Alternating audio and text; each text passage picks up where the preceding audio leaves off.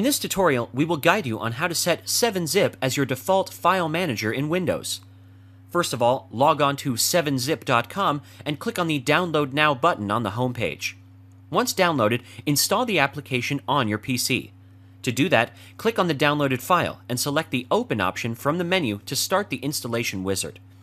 Select the destination folder and click on the Install button to install 7-Zip on your PC.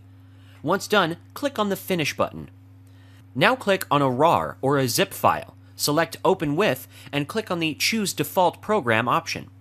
Select 7-Zip File Manager and click on the OK button to set it as the default file manager.